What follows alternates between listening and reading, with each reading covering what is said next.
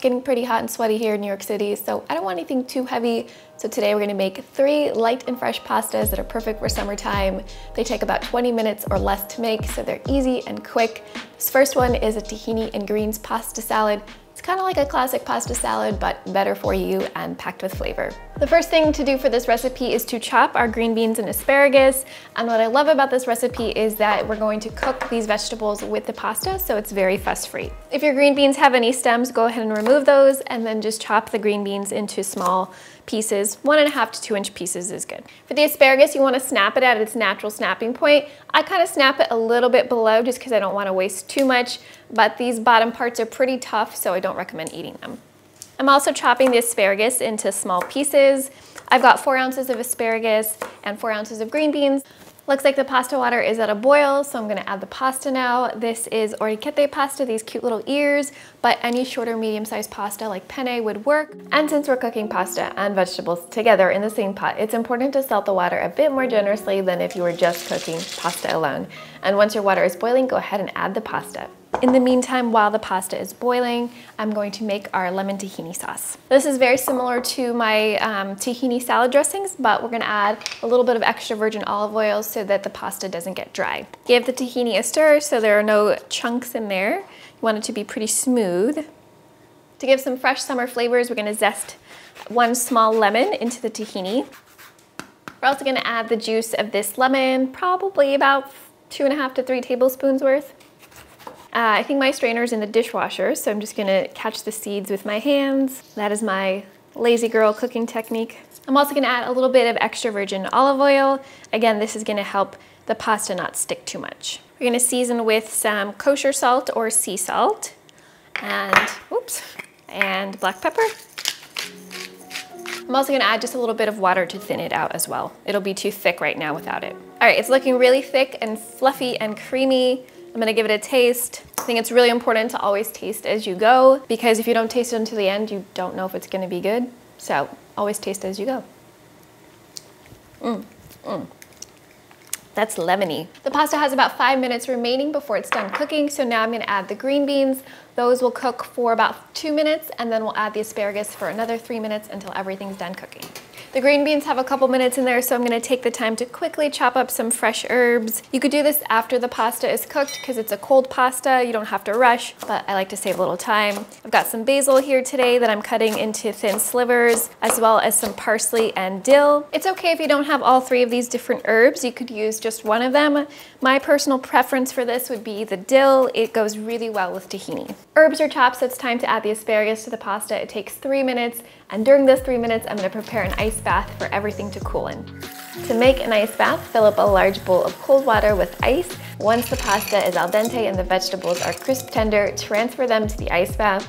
I'm using a spider to immediately drain the pasta and vegetables into the ice bath, but if you don't have a tool like this, it's fine. You can just drain it in a colander and then add it to the ice bath immediately after. Now that the pasta has been drained, we're gonna just shake out some excess water so we get more flavor and it's not too watery. And now we're just gonna add the pasta back to this large bowl. Most of the salt that we use to cook the pasta in drained off, so I'm gonna add just a little bit of extra salt so that every bite has a little bit of flavor. Now it's time to add our tahini dressing. I'm gonna add all of it and stir to coat. Now we're gonna toss everything to combine.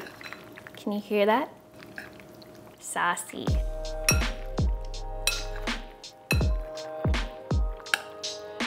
Got a few final ingredients. We've got chickpeas. This is about one 15 ounce can, and this is just gonna bulk up our pasta salad so we have some protein. Another ingredient that is optional if you don't have it, but I personally love it. I toasted some pine nuts earlier, and that's gonna add a nice buttery crunch. Pine nuts are quite expensive, so if you don't wanna use those, you could use toasted almonds or pumpkin seeds. They'll both be good options here. And finally, our fresh herbs.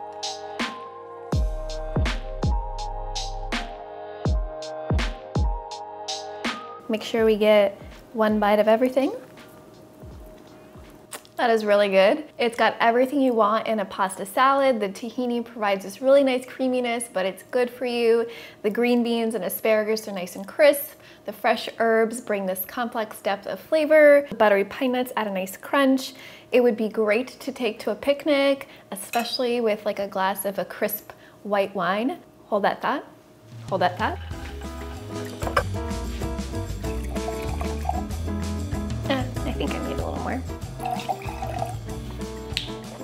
All right, we'll go for a second bite now that we have the wine. This is what summer's about. Being quarantined in your home with a lot of food and a lot of wine. Oh, that is a great combination. Our next recipe is an Italian inspired pasta. It's got two different types of tomatoes. I like to call it a due tomate pasta. We've got these tomatoes that, from the... Is that how you say tomato in Italian? I think so. Tomate? Tomate? Oh no, that might be Spanish. Alexa, how do you say tomato in Italian? Tomato in Italian is pomodoro. Oh, pomodoro. I got it wrong. It's not tomate, it's pomodoro. So we're gonna make a due pomodoro pasta, pomodoro, due pomodoro pasta. It's extremely easy. It's six ingredients and it's very quick, but still very flavorful. So the first thing you wanna do is bring some water to a boil for your pasta. I'm using capellini. It's a very thin uh, almost like spaghetti, but thinner. You could use spaghetti or angel hair pasta. And while the water is heating up, I'm gonna make our fresh tomato sauce. You wanna use the best quality tomatoes you can get because it's just four ingredients, it's not getting cooked, so the fresher the tomato, the better quality the tomato, the better the pasta will be. And we just need to cut them into rough chunks. It's gonna go into the food processor, so you don't need to be precise. Look how pretty this tomato is.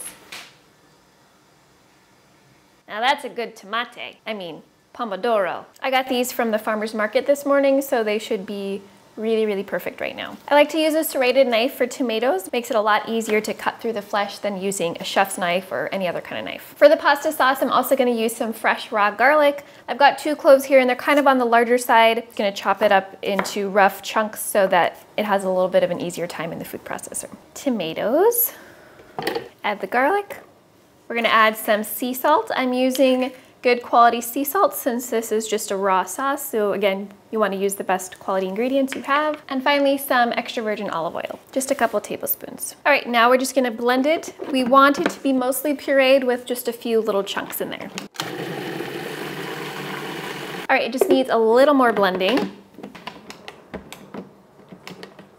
Why is this so difficult? Just need, nope.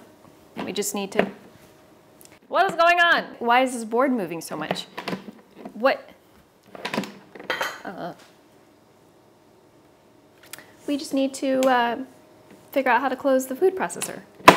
There we go. The sauce is now done, mostly pureed, but a little chunky in there. And this sauce is very versatile, so you can make an extra batch, store it in the fridge for several days, and then you can spread it over grilled bread or toasted bread for a pan con tomate or pan con pomodoro. No, but then that's Spanish and Italian. I don't know the Italian word for, for bread. Ciabatta, you can have a ciabatta e pomodoro. I'm just butchering both languages now. Do whatever you want. It's delicious with this pasta, but also on bread. The second type of tomato in this recipe are cherry tomatoes. We're going to skillet char them or skillet roast them, whatever you want to call it. While the skillet's heating up, we're gonna slice up some basil. Oh God, this is heavy. Oh. Uh, we're gonna slice up some basil and we need about half cup of basil leaves that we'll cut into fine strips line these leaves up so I can roll them up together and chiffonade them. Our cast iron skillet seems like it's hot enough, so we're gonna head on over to the stove to char our cherry tomatoes. It's on medium-high heat. It took about four to five minutes to start smoking. Then I added a little bit of regular olive oil, followed by a pint of cherry tomatoes.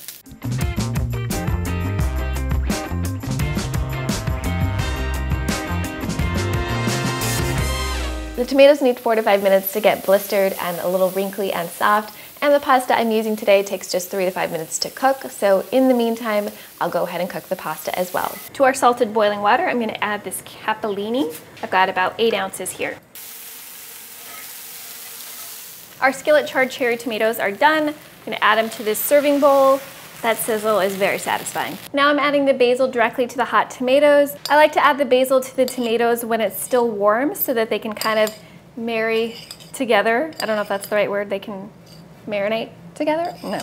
They can get married together. They can marry, the flavors can marry together. I think that's what I'm trying to say. I'm gonna go get the pasta and then it will be time to eat.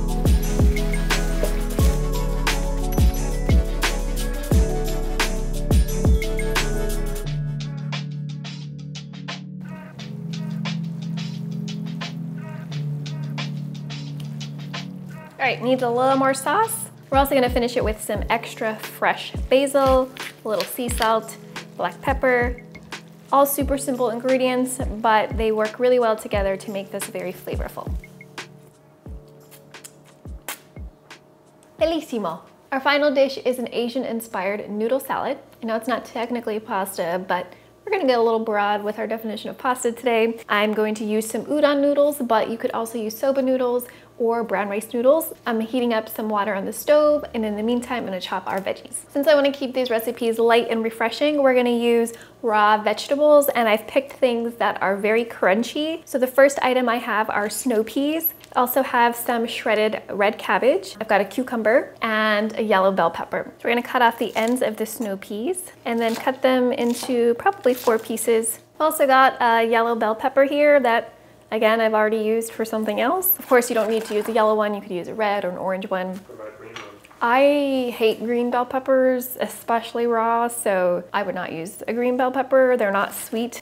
If you like them, you could obviously use them, but I probably don't trust you if you like raw green bell peppers, to be honest. No offense. And we've got our cuke. I'm pretty, pretty surprised I got that one. And we're gonna also cut that into some thin strips. And you don't have to be limited to the vegetables I'm using today. You could use other crunchy vegetables, depending on what you have. You could use carrots. You could use, what are some other crunchy vegetables? Sugar snap peas? Oh, sugar snap peas, right. We have snow peas, but you could also use sugar snap peas, maybe radishes, even like raw, thinly sliced beets. You know, you can feel free to get creative. All right, the veggies are chopped, so now we're gonna make our sauce. It's uh, an almond butter base, and then we've got some other Asian-inspired ingredients. It's really, really good. We'll toss it with the cold noodles, and then we'll add the veggies. Same technique I used earlier. I don't wanna get a measuring cup stuck with all this almond butter in it, so I'm gonna weigh it out on my measuring scale. We need four tablespoons. Can't let this go to waste.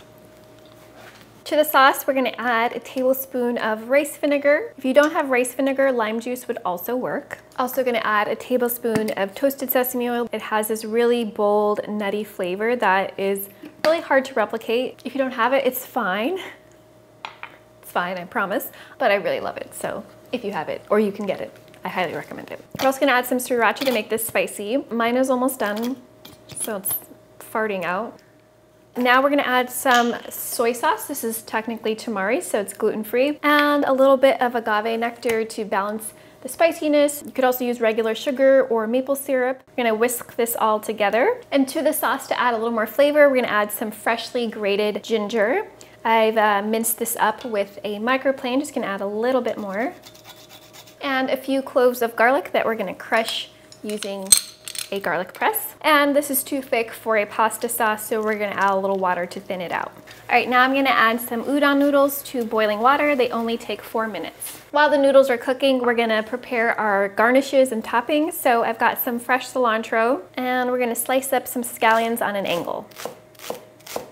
And I forgot to mention earlier that we're gonna be also adding some edamame. That will be our protein source. This is frozen shelled edamame that I've defrosted in the fridge.